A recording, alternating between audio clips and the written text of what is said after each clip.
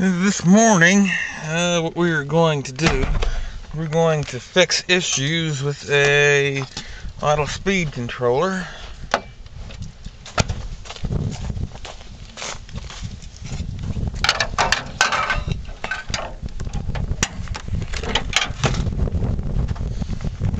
These problems are common on these 4.9 liters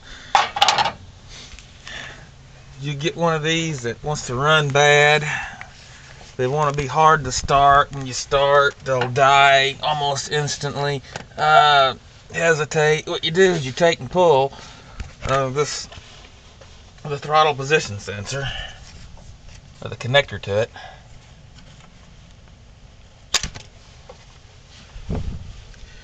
And if you look you'll see that it'll gather a little bit of corrosion. Uh, you take spray some brake cleaner in it. Or they make electronic cleaner, either way. And let that dry for a minute. And also right here for the uh, idle speed control, that will also corrode a little bit. I think spray a little in there, clean, let that dry. While that's drying, take your hoses, take a screwdriver, and check the hoses. This isn't really much of an issue. That was loose. And let's look here.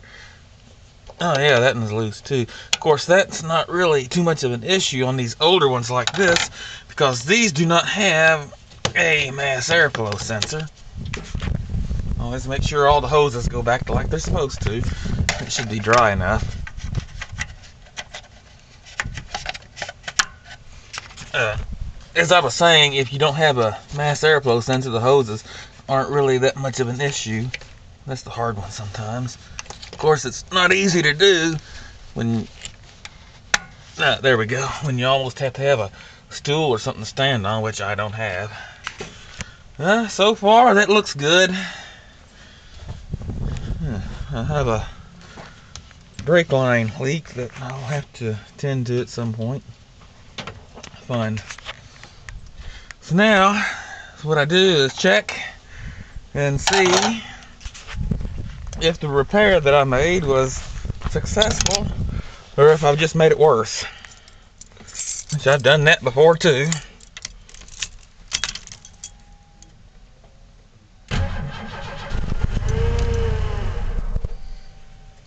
Hmm, that doesn't good. But then again, it's only 23 degrees out here.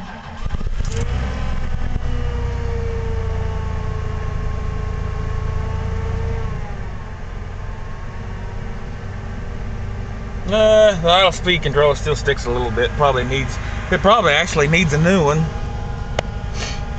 203,000 miles, so yes.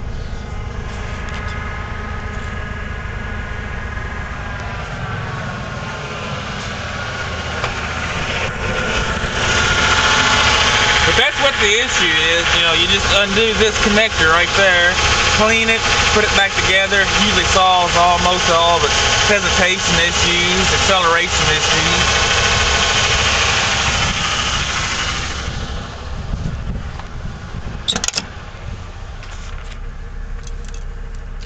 And it's 24 degrees, so I'm going back inside where it's warm. And thanks for watching.